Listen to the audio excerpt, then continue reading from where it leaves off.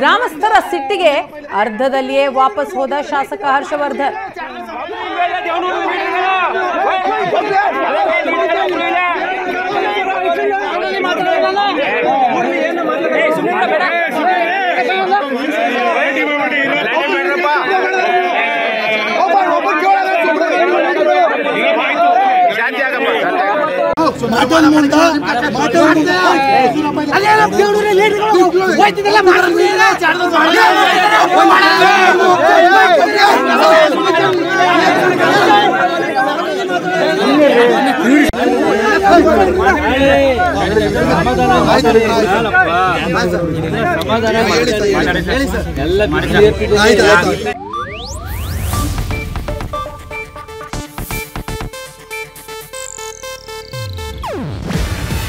ಇದು Asianet news network ಪ್ರಸ್ತುತಿ.